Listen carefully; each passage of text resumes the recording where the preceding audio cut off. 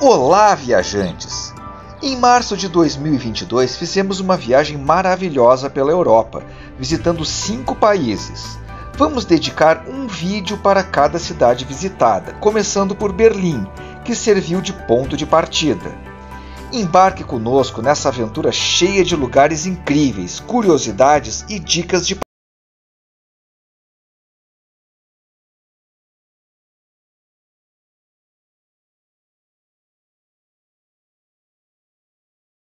da Alemanha desde 1991 e com 3,6 milhões de habitantes, Berlim é de longe a maior cidade do país, sendo o dobro da segunda maior.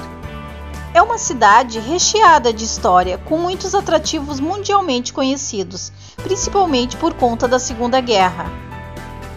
Nesse contexto, destacam-se o Memorial do Holocausto, que homenageia os judeus mortos na Europa a escultura Corrente Quebrada, que simboliza as conexões rompidas entre o Ocidente e Berlim Oriental devido à construção do muro.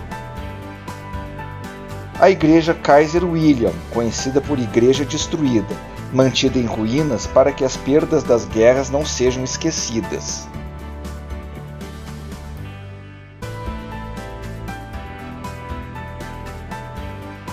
A Topografia do Terror é uma exposição permanente com imagens e textos que resgatam as atrocidades cometidas na guerra. Fica junto a um trecho remanescente do Muro de Berlim, que foi construído em agosto de 1961 para dividir a cidade, separando famílias e simbolizou a divisão do mundo entre os blocos capitalista e socialista. O Checkpoint Charlie era um posto militar na fronteira entre Berlim Ocidental e Oriental.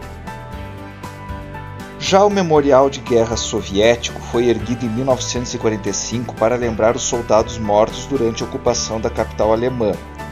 Ele se localiza no Parque Tiergarten, que é considerado o pulmão verde da cidade. É um local muito frequentado pelos berlinenses para praticar esportes nos seus 2 km quadrados, cortados por largas avenidas. E para completar os ícones da guerra, visite um moderno monumento a George Elser, que arquitetou um atentado contra Hitler, mas acabou não se concretizando. Mas Berlim vai muito além das lembranças da guerra. É uma cidade moderna e que oferece opções para todos os gostos. Quando estivemos por lá, algumas restrições da pandemia ainda estavam em vigor. Por conta disso, o trânsito estava bem tranquilo em suas grandes avenidas e o metrô sempre com pouca gente. O relógio mundial Urânia está localizado na praça de Alexanderplatz. Ele mostra a hora atual em 148 cidades de todos os continentes tem 16 toneladas e foi inaugurado em 1969. Fica pertinho da torre de TV. E quando o assunto é altura, nada supera a torre de TV e seus 368 metros, com o restaurante a 207 metros do chão. Ela destaca-se no horizonte de Berlim, sendo a construção mais alta da Alemanha e pode ser vista a 40 quilômetros de distância. O portão de Brandemburgo, com suas 12 colunas em estilo grego, começou a ser construído em 1788 e é um dos muitos arcos do triunfo que tem pelo mundo.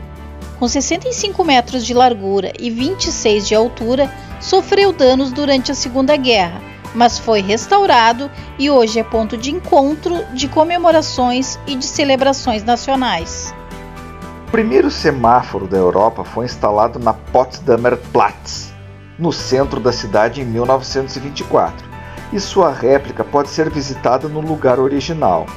O Ampelmann, o homem do farol em alemão, é o nome do homenzinho que sinaliza o trânsito aos pedestres da cidade e foi criado em 1961. E hoje está presente em uma infinidade de lembrancinhas da cidade. O Museu Antigo é o maior e mais importante museu do mundo no campo da arte antiga grega, romana e etrusca. O magnífico prédio, com 87 metros de largura, inspirado no Panteão Romano, está localizado na Ilha dos Museus.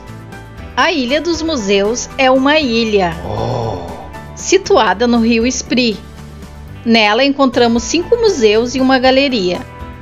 Também localizada na Ilha dos Museus, a Catedral de Berlim é um dos cartões postais da cidade. É a igreja protestante mais importante da Alemanha e suas torres erguem-se a 116 metros de altura, mas estavam em reforma quando passamos por lá. Outro símbolo inconfundível da cidade é a Coluna da Vitória, construída para comemorar a vitória da Prússia sobre a Dinamarca em 1864. A estátua em seu topo, com 35 toneladas, foi adicionada alguns anos mais tarde. O Palácio de Reichstag é uma construção magnífica e abriga o parlamento alemão. Foi inaugurado em 1894 e ali, em 1918, foi proclamada a República da Alemanha. Sofreu um grande incêndio em 1933, dias após Hitler ter sido nomeado chanceler foi restaurado em 1971, quando recebeu suas linhas atuais. A cúpula do parlamento é famosa por sua estrutura única, além de proporcionar grande economia de energia.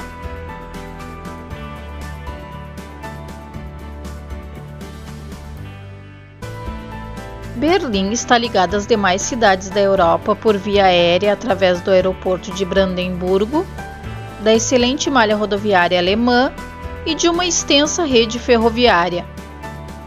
Através das muitas estações de trem da cidade, onde destacamos a estação central de Berlim.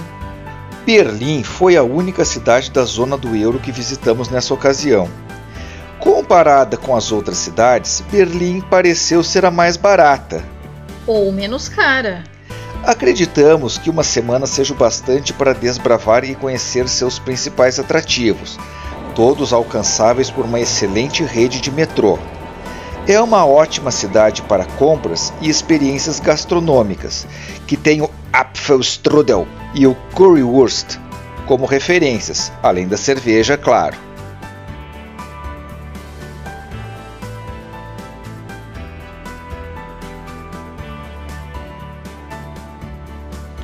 E aí, viajante, o que achou da nossa primeira parada na Europa?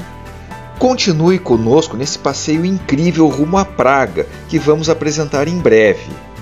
Curta, compartilhe, comente, se inscreva no nosso canal e ative o sininho para receber notificações.